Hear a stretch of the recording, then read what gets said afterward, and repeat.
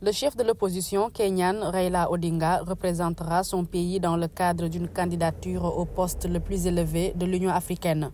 Le vétéran de la politique s'engage à travailler avec les 55 États membres de la Commission de l'Union africaine pour servir les intérêts de la vaste majorité des Africains qui n'ont pas voix au chapitre, a-t-il déclaré lors d'un événement organisé à Nairobi pour annoncer sa candidature. Le rôle est réservé en 2024 à un représentant de l'Afrique de l'Est pour remplacer Moussa Faki Mahamat, un vétéran politique du Tchad qui a servi comme président de l'organisme panafricain depuis 2017.